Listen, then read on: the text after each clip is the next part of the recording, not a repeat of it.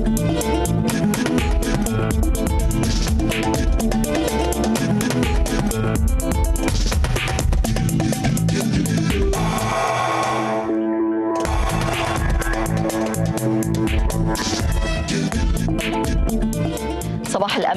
والسعاده مشاهدينا الكرام أهلا بحضراتكم معانا وحلقة جديدة من هذا الصباح ولقاء يومي يتجدد مع حضراتكم على شاشة النيل للاخبار ومجموعة متنوعة من الفقرات والحوارات المختلفة. اللي بنتمنى مشيئة الله أن تحوز على إعجاب حضراتكم النهارده. أحمد صباح الخير. صباح الخير يا أمل وصباح الخير بكل مشاهدينا الكرام. أهلا بكم حلقة جديدة من هذا الصباح. نتمنى أن يكون يوم مختلف يوم مليء بالإشراقات.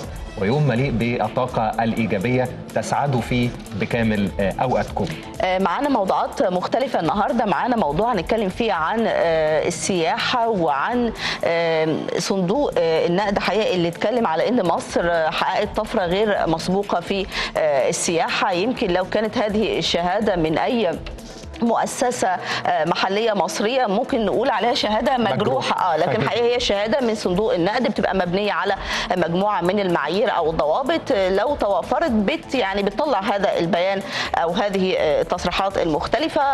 طبعا هنتكلم عن السياحة بشكل عام. هنتكلم على اللي مصر عملته في الفترة الأخيرة عشان ترتقي بهذا القطاع اللي كان مرتبط بشكل كبير طبعا بطبيعة الأحوال بالأوضاع الأمنية فكون إن أنت تقدر إن أنت تحقق طفرة كويسة صحيح. في ظل الظروف السياسية والأمنية الأخيرة اللي اللي عاشتها مصر يعني من ثورات من بداية 2011 وكان حصل إن قطاع السياحة تأثر بشكل كبير جدا بالأوضاع الأمنية فقدرنا الحمد لله إن إحنا نتعافى طبعا بإرادة وقوة وصلابة الشعب المصري. من بين العلامات على تعافي قطاع السياحه إنه السنة دي 2019 حقق ما يزيد على 11 مليار دولار إيرادات سنوية. وهذا هو الرقم الأكبر من عام الذروة اللي هو كان عام 2010 آه. وبالتالي ده يقول إنه مصر في خطتها لإصلاح وهيكلة قطاع السياحة على كل مستوياته وجهودها الأمنية أيضا. والوعي المجتمعي بقطاع السياحة يسير في الاتجاه الصحيح. وده اللي بيأكده صندوق النقد الدولي لما قال إن مصر ستشهد طفرة سياحية كبرى. إن من ضمن موضوعاتنا أيضا النهارده بقى العسل. آه. العسل مصر في مهرجان دولي فيها عن إنتاج العسل تشارك فيه 10 دول هنتعرف ونتابع ونعرف حول تربية عسل النحل في مصر والآفاق الاقتصادية من خلال هذا المهرجان والتي يتاح من خلال تبادل الخبرات مع عدد من الدول المشاركة. طيب طبعا ده بالإضافة إلى فقرتنا الثابتة مع حضراتكم وجولة مع صاحبة الجلالة واستعراض لأهم وأحدث ما طلعتنا به الصحف المحلية من قضايا وملفات وموضوعات كثيرة ومتنوعة. هذا صباح يتواصل معكم بعد الفاصل.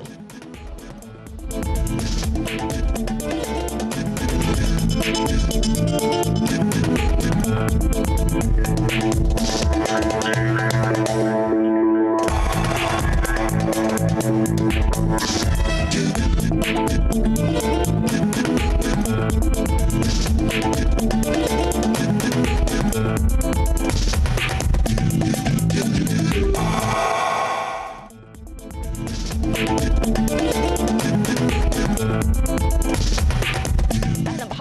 مرة تانية. المتحدث الرسمي لشركة مترو الأنفاق الدكتور أحمد عبد الهادي قال أنه أثناء قيام إحدى شركات الإعلانات بإزالة لوحة إعلانات خارج سور المترو بين محطة غمرة والدمرداش بالخط الأول حدث كسر بالونش القائم بأعمال الإزالة وسقوط رافعة الونش. رافعة الونش سقطت على الشبكة الهوائية. الشبكة الهوائية هي اللي بتغذي قطار الأنفاق بالطاقة الكهربائية اللازمة لتشغيله على الفور وبحسب المتحدث باسم مترو الانفاق تم التحفظ على القائمين على الونش والتحفظ على الونش بمعرفة شرطة النقل والمواصلات وعلى الفور انتقلت جميع فرق الطوارئ وجاري العمل لإصلاح الشبكة الكهربائيه يمكن الخبر ده الصبح حصل وبالتالي ممكن يكون في هناك بعض التأخر في الخدمات فيما يتعلق بالخط الأول لكن آه. في الوقت ده طبعا الناس كلها رايحة الشغل فلو اللي عنده بديل يقدر يستخدمه وإن شاء الله تستطيع آه، آه، هيئة مترو الأنفاق آه، الانتهاء من أعمال الإصلاح في وقت سريع. ومهم جدا إن أول باول يبقى فيه يعني بيانات وتصريحات توضح الصورة للناس لأن أحيانا. بيبقى فيه يعني بيبقى فيه مجال للبس أو عدم ال- الفهم. فده شيء مهم جدا. طيب إحنا مستمرين مع حضراتكم في هذا الصباح وهنتكلم عن فعاليات ال- المؤتمر العالمي الخامس للإفتاء. الحقيقة اختتم أعماله. هذا المؤتمر تحت رعاية الأمانة العامة لدور هيئات ال- الافتاء في العالم جاء هذا العام تحت عنوان الإدارة الحضرية آه، للخلاف آه، الفقهي. طبعا بيتكلموا على فكرة ال- آه، الفتاوى وعلوم الفقه ووسطية الإسلام و- والتعايش حقيقة مع الأديان والمجتمعات ال- الأخرى بشكل كبير. المحور الأساسي للمؤتمر هو إدارة الاختلاف. وليس صحيح. الخلاف. صحيح. لأنه الاختلاف قائم باختلاف المجتمعات وباختلاف المشارب الفقهية والمدارس المذهبية. وبالتالي الوصول إلى منطقة وسط وإدارة آه، آه، الاختلاف ما بين هذه آه، الرؤى الفقهية والمذاهب مهم جدا للوصول إلى آه، خطاب إسلامي وسطي. مفتي الجمهورية ورئيس الأمانة العامة لدور وهيئات الإفتاء دكتور شوقي علام قال إنه المؤتمر أو المؤتمرين على اختلاف مذاهبهم وبلدانهم أكدوا أن الاختلاف الإنساني سنة كونية وحضارية وبالتالي هذا هو الهدف الأساسي من هذا صحيح. المؤتمر. نتابع التقرير. كما يضع علماء بعد جلسات حوارية ومناقشات حول الإدارة الحضرية للخلاف الفقهي اختتمت فعاليات المؤتمر العالمي الخامس للإفتاء والذي تعقده الأمانة العامة لهيئات الإفتاء في العالم برعاية الرئيس عبد الفتاح السيسي وحضور وفود من كبار العلماء والمفتيين على مستوى العالم. وعرض المؤتمر في جلساته وأبحاثه ونقاشاته وورش عمله قضية الخلاف الفقهي وما ينتج عن إدارته من نتائج تتفاوت تبعا لطريقة التعامل معه. نعلن دعمنا الكامل وتأييدنا التام لمصر العروبة والإسلام مصر الأزهر والوسطية لمصر الحضارة والتاريخ لمصر صاحبة الجيش الباسل الذي سماه رسول الله صلى الله عليه وسلم خير أجناد الأرض. وفي الوقت ذاته نعلن رفضنا القاطع لكل مخططات الإرهاب الرامية إلى نشر الفتن وتقسيم الدول. أكد البيان الختامي على أهمية تجديد النظر للخلاف الفقهي ليكون بداية حل المشكلة المعاصرة بدلا من أن يكون جزءا منها. تمثل المذاهب الفقهية الإسلامية في مجموعها وتفاعلها العلمي فيما بينها تجربة إنسانية يجب استثمارها والاستفادة منها. نؤكد على وجوب احترام الاختلاف المذهبي والعمل على نشر هذه الثقافة انطلاقا من أن احترام الرأي المخالف حجر الأساس في التماسك الاجتماعي وتحقيق الاستقرار. دعا المؤتمر إلى دعم ما صدر عن الأمانة العامة من مبادرات وتخصيص يوم عالمي للإفتاء وإصدار وثيقة التسامح الفقهي والإفتائي ودعا جميع الأطراف المعنية إلى الالتزام بها وتفعيلها على كافة الجهات. من منطلق أن الإسلام دين جامع للمذاهب المعتمدة. أكد المؤتمر على أهمية استغلال الخلاف الفقهي لحل المشاكل المعاصرة مع ضرورة التقارب والتعارف بين جهات الإفتاء على مستوى العالم. منذر دوح النيل. في إطار حقيقه الجهود اللي بتبذلها الدولة لجذب الكثير والعديد من الاستثمارات المختلفة إلى مصر من مختلف دول العالم والتعامل والتعاطي مع التحديات أو المشكلات أو العراقيل اللي بتحول دون مجيء هذه الاستثمارات إلى مصر ومحاولة تذليل هذه العقبات والتحديات والصعاب المختلفة. في هذا الإطار عقد المؤتمر الوطني الخامس لعلماء وخبراء مصر في الخارج الخارج تحت عنوان مصر تستطيع بالاستثمار والتنمية. وزير النقل كامل الوزير أشار خلال جلسات المؤتمر أنه مصر شهدت طفرة كبيرة جدا في البنية الأساسية. الأمر الذي يشجع على استيعاب عدد كبير جدا من الاستثمارات الضخمة. إحنا بنشوف مشروعات الطرق والكباري والمحاور صحيح. التنموية. هو مش مجرد طريق ولا. مجرد رفع كفاءة الطريق قائم بل هو حياة ومجتمعات جديدة تانية. وعامل رئيسي ومهم من عوامل جذب الاستثمارات إلى مصر. المهم جدا في الموضوع ده أمل كنت بتكلم مع مم. إنسان عادي جدا مم. يعني فبيقول لي إنه في إحدى مناطق القاهرة اتمد لها طريق وبيقول لي دي كانت صحراء. آه. بعد ما تمد لها الطريق أوجدت خلاص حياة فيها. بقى, بقى أوجد حياة فيها فهو بيفكر يدور على محل تجاري هناك لأنه هو من أصحاب المهن إنه يروح هناك. فأصبح المواطن عنده إدراك بأنه اللي بتعمله الدولة هو في مصلحته وبيحقق يعني عوائد مهمة بالنسبة له وبيحقق مستقبل أفضل ليه صحيح. ولأسرته. هو طبعا بيبقى في في المقابل محاولات لتشويه هذه يعني ال- المجهودات أو عليها. هذه المشروعات أو فكرة آه، إن ناس كتير بتقول يعني إيه أهمية إن يكون في بنية تحتية وطرق وكباري وأنفاق. لا حقيقة بيبقى ليها يعني فوائد ومكتسبات آه، عدة فيما يتعلق بقطاع الاستثمار قطاع آه، السياحة. زي ما قلت يا أحمد التجاري. النقل التجاري. زي ما قلت كمان فكرة حتى الأفراد والأشخاص اللي ممكن يبقى فيه فرص متاحة للعمل في آه، وجود هذه ال- الأماكن اللي بتحول فيها الصحراء وبتوجد فيها آه، الحياة من جديد. خلونا دلوقتي نتوقف مع هذا التقرير التالي ومصر تستطيع بالاستثمار والتنمية. اختتمت وزارة الهجرة وشؤون المصريين بالخارج فعاليات مؤتمر مصر تستطيع بالاستثمار والتنمية والذي عقد بمركز المنارة للمؤتمرات الدولية تحت رعاية السيد الرئيس عبد الفتاح السيسي بمشاركة نخبة من الوزراء المسؤولين الخبراء ورجال الأعمال والمستثمرين المصريين بالخارج. المؤتمر ده بيزيكلي هي بيوضح للناس آه، وللمستثمرين إزاي آه، فرص الاستثمار في مصر ممكن تكون آه، واعده وجاذبة لل- للاستثمار من كل دول العالم. وهو مركز طبعا على المصريين المهاجرين وده تعدادهم بالملايين بره مصر. سياده السفير نبيله لما جت لنا كندا شجعتنا إن إحنا نحضر هنا ونتواصل من خلال المؤتمر ونتعرف على ال- التغييرات ال- الكتيرة اللي حصلت في الظروف في الآخر ثلاث أربع سنين بالنسبة لفرص الاستثمار. استهدف المؤتمر والذي استمر لمدة يومين واحتوى العديد من الجلسات النقاشية وورش العمل الاستفادة من التجارب الناجحة لطيورنا المهاجرة ومد جسور التعاون معهم في مختلف القطاعات من أجل دعم التنمية الشاملة عبر الترويج للفرص الاستثمارية في مصر تبادل الخبرات وتطبيق الآليات الحديثة لدعم المشروعات ومواجهة التحديات المختلفة. خلينا نبني مصر كلنا تاني. مصر مش بس آه، آه، قوات مسلحة ولا بس زي شرطة ولا آه، جهات حكومية. إحنا كلنا مسؤولين في تنمية هذا المجتمع. كلنا مسؤولين قدام نفسنا قدام العالم كله إن إحنا نخلي مصر تاني. زي ما الرئيس دايما بيقول قد الدنيا شباب كتير من المجتمع المصري أو المواطن العادي ما يعرفش قصص النجاح اللي بيعملها المصري بره وإزاي بينال إشادة ودور قوي في ال- في الأوساط الأجنبية بره ده دور قوي جدا بتقوم بيه وزارة الهجرة على مدار عدد من المؤتمرات أو سلسلة من المؤتمرات اللي بتقوم بيها تحت اسم مصر تستطيع. هي فعلا تستطيع.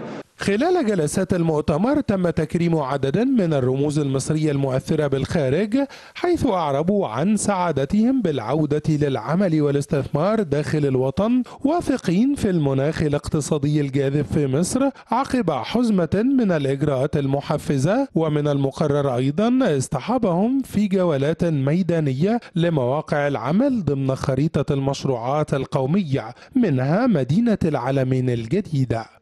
نقاشات ثرية تعرض الكثير من الرؤى الإيجابية والأفكار البناءة وأيضا تحمل المقترحات والحلول لدفع الاقتصاد الوطني عبر استلهام التجارب الناجحة للمصريين بالخارج في مختلف المجالات لتبني وتنفيذ مشروعات تنموية متعددة تؤكد دوما أن مصر تستطيع.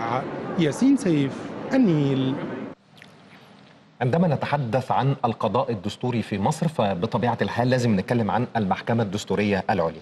صحيح. المحكمة الدستورية العليا آه، صرح شامخ للقضاء الدستوري القائم على الرقابة الموضوعية على دستورية التشريعات واللوائح أيا ما كان آه، مصدرها. وانشأت سنة 1969 وبمناسبة مرور آه، 50 سنة على إنشاء المحكمة الدستورية العليا آه، دشن المستشار سعيد مرعي رئيس المحكمة الدستورية العليا وعصام الصغير رئيس مجلس إدارة الهيئة القومية للبريد طابع بريد تذكاري بمناسبة مرور 50 عام على إنشاء القضاء الدستوري في مصر. آه، وقال رئيس مجلس إدارة الهيئة القومية للبريد إن المحكمة الدستورية العليا آه، تحتل مكانة رفيعة في وجدان المصريين لذا بادرت الهيئة القومية للبريد بإصدار آه، طابع بريد تذكاري بمناسبة مرور 50 سنة على إنشاء القضاء الدستوري في مصر بهدف توثيق هذا الحدث الكبير.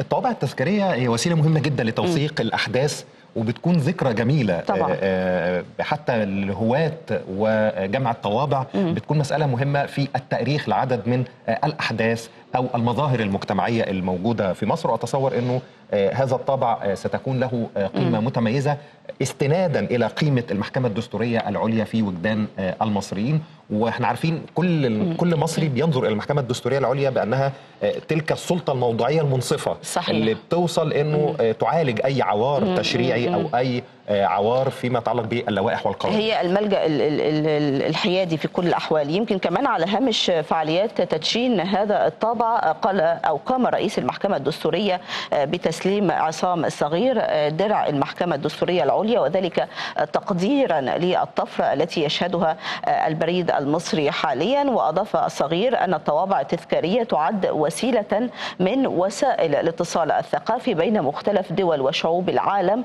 وتوثق تاريخ الأمم على مر العصور. لذلك يحرص البريد المصري دائما على إصدار الطوابع التذكارية في الأحداث والمناسبات المهمة لتخليد تلك الأحداث في تاريخ الوطن. نظمت وزارة التربية والتعليم والتعليم الفني بالتعاون مع الوكالة الأمريكية للتنمية الدولية وأكاديمية البحث العلمي حفل توزيع جوائز مسابقة فني مبتكر لسنة 2019 لريادة الأعمال والابتكار ضمن مشروع تطوير القوى العاملة وتعزيز المهارات. يمكن يا أحمد هذه المسابقة بتهدف بشكل كبير إلى تطوير مهارات وخبرات طلاب وطالبات التعليم الفني وتزويدهم بمهارات الابتكار والإبداع وريادة الأعمال. لتنفيذ المشروعات بتاعتهم المرتبطة طبعا كل واحد بالتخصص المتعلق بالتخصص المهني. اذا هو حقيقه نوع من أنواع الحافز والتشجيع للطلبة حقيقة إن هم يعني يبدعوا ويبتكروا ويقدموا كل جديد. فبيبقى في طبعا في إطار التنافس ما بينهم ويعني تحقيق المراكز أو المراتب المختلفة. طبعا ده كل واحد بيبقى ده شيء مهم جدا بالنسبة له فكرة التنافس يا أحمد والدخول في مسابقة. فبتحفز كل طالب على حدة إن هو يقدم أجمل وأفضل ما عنده. خلونا نشوف مع بعض هذا التقرير التالي. للعام الثاني على التوالي تستمر فعاليات مسابقة فني مبتكر لريادة الأعمال والابتكار بالتعاون مع وزارة التربية والتعليم والتعليم الفني وأكاديمية البحث العلمي والوكالة الأمريكية للتنمية الدولية. أول في كل تراك النهاردة واخد شهادة احتضان من الأكاديمية البحث العلمي والتكنولوجيا قيمتها 200 ألف جنيه ودي قيمة كبيرة جدا لكل المسابقات يمكن اللي بتحصل في مصر. فالأكاديمية هترعى الأول من كل تراك النهاردة لغاية ما يبدأ يفتح مشروعه ولغاية ما ينتج النموذج النهائي للإنتاج إن شاء الله. 15 مشروعا وصلوا للتصفيات من بين 5000 مشروع من 11 محافظة من محافظات الجمهورية. وقد تم هذا العام إضافة ثلاث مسارات جديدة هي التعليم الصناعي والفندقي والطاقة الجديدة واللوجستيات. مشروعنا الهدف منه هو توليد طاقة كهربائية عن طريق حركة العربيات. اولا الطاقة الكهربائية بتكون دي عبارة عن طاقة متجددة وكمان بتبقى طاقة نظيفة وغير ملوثة للبيئة. الفكرة بتعتمد عن العربية بتعدي من فوق المطب بتبدا تحرك عندي أجزاء ميكانيكية. الأجزاء الميكانيكية دي بتقوم بدورها إن هي تنقل الحركه للتروس والأكسات اللي هي بتنقل للمولد أو الدينامو عندنا اللي إحنا عاملين بيه النموذج بيولد كهرباء. بقدر اخد الكهرباء دي بخزنها في بطاريات. بقدر بعد كده أتعامل معاها بإن أنا ممكن أنور عواميد اناره في الشوارع إشارات مرور. رم بتري بالطاقه الشمسية. وضايفين عليها تايمر وقت خدنا المنتجات اللي هي العبوات سريعه التحضير أو المعجنات سريعه التحضير اللي اتعمل في الشارع زي الاندومي والنودلز والمكرونات. خدناها عملناها في المنتج بتاعنا. زي ما حضراتكم شايفين بخامات طبيعية ومواد طبيعية وبدون أي مواد حافظة وكمان بنضيف عليها ألوان طبيعية. اهتمام الدولة بالمشروعات الصغيرة والمتوسطة وتطوير مهارات طلاب التعليم الفني سيساعد في نمو الاقتصاد المصري وإنتاج أفكار مبتكرة وتحويلها إلى مشروعات مؤثرة في المجتمع وسوق العمل. عمر حمزة النيل. احتفلت أكثر من 150 دولة في العالم بالأمس بيوم الأغذية العالمي والذي يأتي في 16 من أكتوبر من كل عام وهو يوم حقيقة تأسيس منظمة الأغذية والزراعة بالأمم المتحدة الفاو عام 1945 بهدف تعزيز الوعي والعمل على الصعيد العالمي من أجل من يعانون الجوع ويمكن يحمد في ظل الصراعات والحروب وال وحاله التفتت وال- والشتات حقيقه اللي بتشهدها المنطقة وعدد كبير من دول العالم طبعا نسب ال- الفقر وال- والجوع ومشاكل التغذية بقت من المشاكل الإنسانية الكارثية اللي بيعاني منها عدد كبير جدا من شعوب العالم وخاصة طبعا الأطفال على وجه التحديد صحيح جزء منها طبعا السبب في الحروب وجزء مم. منها راجع لظروف بيئية وتغيرات مناخية كبرى صحيح. وجزء منها يرجع أيضا للسلوك الإنساني فيما. يتعلق بإهدار الطعام. آه، لأنه آه، في كميات من الطعام تهدر عالميا بشكل كبير صحيح. آه، لو تم التعامل معها بشكل اقتصادي وعلى. قدر الحاجة مش يعني هتسد الفجوة لكن على الأقل هتساهم في حل جزء من مسألة الجوع في العالم مصر كانت من الدول اللي شاركت في الاحتفالية وأقامت وزارة الزراعة واستصلاح الأراضي احتفال في مركز بحوث الصحراء بمشاركة ممثلين عن منظمة الفاو والباحثين والمختصين. آه، زميل عبد الحميد صقر تابع هذه الاحتفالية وأجرى الحوار التالي مع الدكتور نصر الدين حاج الأمين ممثل منظمة الأغذية آه، والزراعة للأمم المتحدة بالقاهرة. أعزائي مشاهدي قناة النيل صباح الخير صباح الخير كل زملاء في استوديو هذا الصباح. آه، معي ومعكم في هذا الصباح آه، الأستاذ دكتور نصر الدين حاج الأمين ممثل منظمة الفاو آه، في مصر.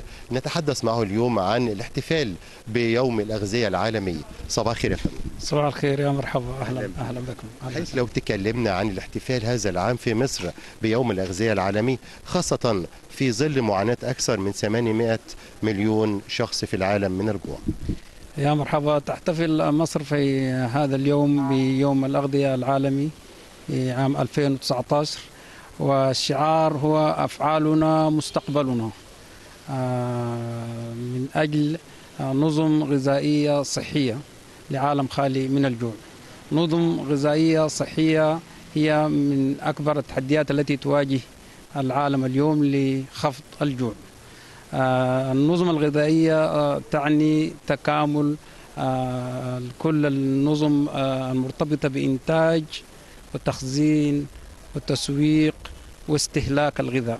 في حاجة لهذه النظم تعمل بعض حتى تضمن للمستهلك آه، غذاء آه، آمن صحي ومفيد. هذا هو التحدي الذي يواجه العالم حاليا. وفي مصر آه، ينجر الأمر على على على جمهورية مصر العربية في إن مصر حققت آه، آه، إنجازات كبيرة جدا في مجال إنتاج الغذاء وتوفير الغذاء وإمداده وتوفيره باشكاله المختلفه لكن آه، أيضا هناك في تحدي كبير جدا إنه ما زال التغذية مستويات التغذية خاصة عند الأطفال والنساء دون المستوى المطلوب. نعم. لو تحدثنا يعني مصر خطت خطوات جادة نحو تنمية مستدامة خاصة في ظل آه، مشروع تنمية مستدامة 2030 وكان من أهم أهدافها القضاء على الجوع أيضا والاستقرار الغذائي يعني اتكلمنا على أهم يعني هذه الأطر في ظل توفير استقرار غذائي داخل مصر. لتحقيق امدادات غذائية صحية ومستدامه وتحقيق هدف التنمية المستدامة الثاني يعني التحديات كبيرة وتحديات كثيرة. آم، يعني إخ- اختصارا بالنسبة لمصر أكبر التحديات والتحدي الأول هو الموارد الطبيعية الضرورية لإنتاج هذا الغذاء وأكبر التحدي فيها هو المياه. وفي مصر الآن حاليا مجهودات كبيرة جدا في إطار استراتيجية مصر 2030 2030 ومصر لها باع كبير جدا في زيادة إنتاجية آه، المياه في حاجة وفي تجربه آه، لاز- ل- لاستمرار في هذا الاتجاه وتأمين الغذاء. هذا تحدي آه، أول وتحدي كبير. آه، التحدي الثاني هو تحسين أكثر وأكثر في تأمين الغذاء يعني توفير الغذاء الآمن من المتبقيات المختلفة في مرحلة الإنتاج أو الملوثات في مراحل التسويق والتخزين إلى آخره.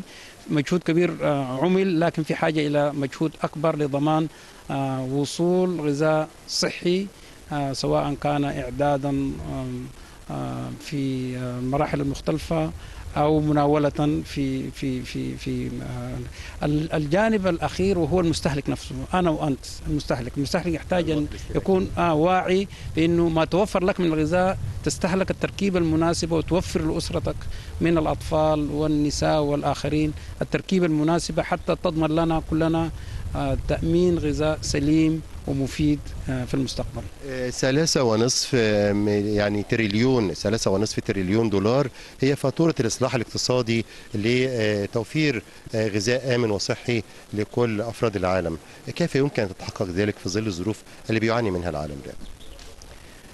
آه، التحدي على مستوى العالم تحدي كبير مش سهل لكن أيضا تحقيقه وارد آه، رجوعا إلى التجارب رجوعا إلى ال- ال- المكتسبات التي تم تحقيقها في في الماضي. فعلى مستوى مصر تحقيق هذا ال- الهدف آه، يمكن تحقيقه بدون بدون أدنى شك. آه، لكن هذا العام آه، يعني يوم الأغذية العالمي ينبهنا جميعا إلى جزء هام جدا وهو التوعية للمستهلك. نحن صحيح في أحيانا الغذاء المفيد متوفر لكن المستهلك قد لا ليس له الوعي في أخذ التركيبة المناسبة من هذا الغذاء أنا أتصور هذا هو الدور الأول والأساسي. لو نجحنا كلنا في توعية المستهلك في الاستهلاك السليم سنحقق الجزء الأكبر من هذا الهدف.